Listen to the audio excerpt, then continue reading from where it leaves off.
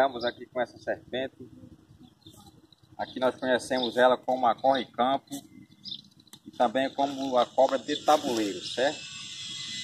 É uma serpente que possui um certo tipo de veneno, mas porém não chega a matar o ser humano, certo? E eu ia passando aqui, o pessoal estava aqui tentando tirar ela do, do seu, da sua calçada. E certamente ela ia entrar dentro de casa, tá? Procurando algum tipo de abrigo. E eu aqui estou fazendo a captura dela. E vou soltar ela aqui na, no mato, certo? Vou devolver ela de volta à natureza. E é o local certo que ela deve estar é a natureza. Ela está um pouco assustada. É, por conta dela estar no, no ambiente urbano. Então ela fica. Ela se sente um pouco ameaçada, mas porém é um animal que não traz tanto risco. Possui veneno sim, e ela morde com certeza. Mas é, um cuidado que nós devemos ter com ela, tá?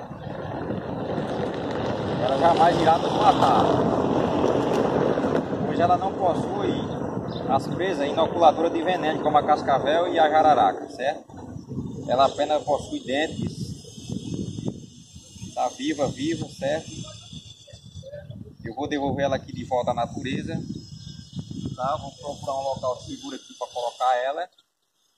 Ele vai me acompanhar aqui, certo? Tá? Vai me acompanhar aqui. Vou colocar ela aqui.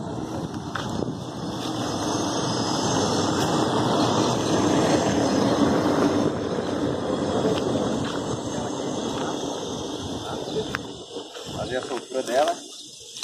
Quero que ela aproxime aqui um pouco que é a cama dela. Está com um pouco de medo, mas Porém não faz tanto medo assim não, olha só. Dá para manusear ela tranquilo. Tá certo? É mais um registro para o canal. Com essa serpente maravilhosa. Tá? Mais um registro para o canal. Certo? Olha só. Está ela, pessoal. Ela é uma, uma, uma serpente que traz tanto risco. Ela tem essa cobra traz tanto risco, olha só. Olha posso mostrar a vocês. Dela aqui, ó. No braço, tá certo? Olha só, ela, ela, não, ela não traz o risco que o ser humano acha que ela traz.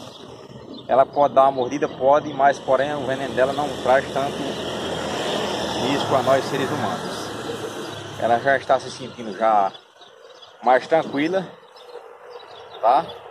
Vou devolver ela de volta à natureza com segurança com certeza, certo?